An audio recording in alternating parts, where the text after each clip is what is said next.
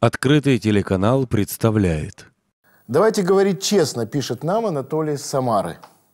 Человек ведь произошел от обезьяны. Так чего же хорошего от него можно ожидать? Обезьяна, она и в Африке обезьяна, на любой ступени своего обезьяньего развития.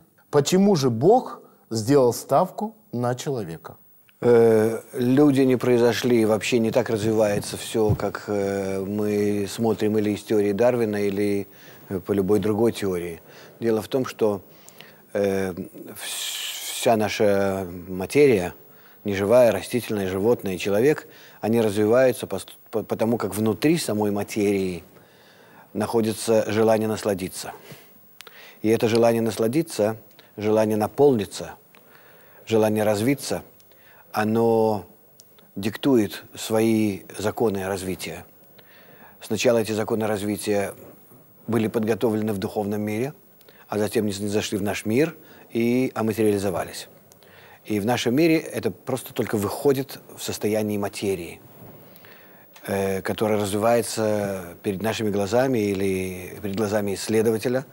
И поэтому, с одной стороны, получается так, что действительно развилась сначала неживая материя, все эти галактики, Вселенная, затем э, Солнечная система, затем земной шар, и на нем жизнь появилась постепенно.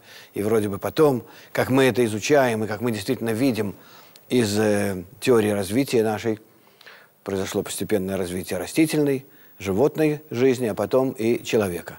Но не получается так, что из одной части или из одного уровня материи развивается другая, непосредственно развитием самой материи, а происходит проявление уже заданных э, данных и появление новых видов.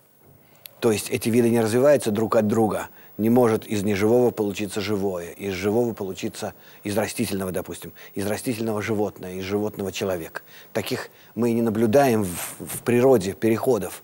Есть четко разграниченные уровни для каждого э, элемента развития, для каждого для каждого предмета, для каждого э, существа, и они не перемешиваются друг с другом, и они не переходят друг друга. Они просто проявляются в нашем мире, потому как выходят наружу все, более, все больше и больше более развитые информативные данные.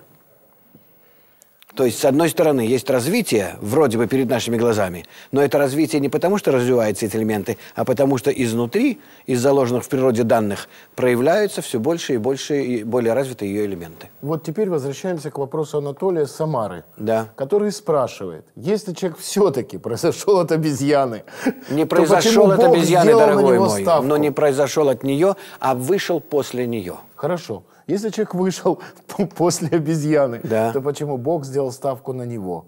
Почему О, не на кого-то другого? Потому что в человеке, в, в этом информационном данном, в речимо, которое есть в человеке, есть одно особое исключительное свойство.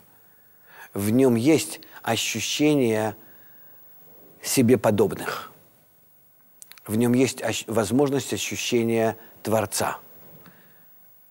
Чего нет ни в, ни в ком другом. То есть обезьяны не ощущают. Этим животное отличает от человека.